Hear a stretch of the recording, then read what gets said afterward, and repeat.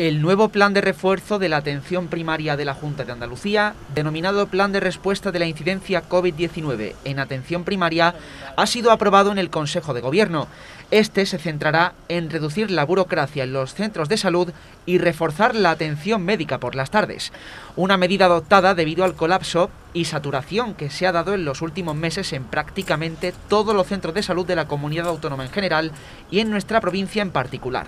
La incidencia está bajando actualmente en una muestra de que la sexta ola está cayendo, aunque está por ver, una vez entre en vigor y se aplique, cómo redundará a la calidad del servicio público sanitario en Córdoba, dado que, como todas las provincias, se ha visto afectada por el despido de 8.000 sanitarios el pasado 31 de octubre de 2021.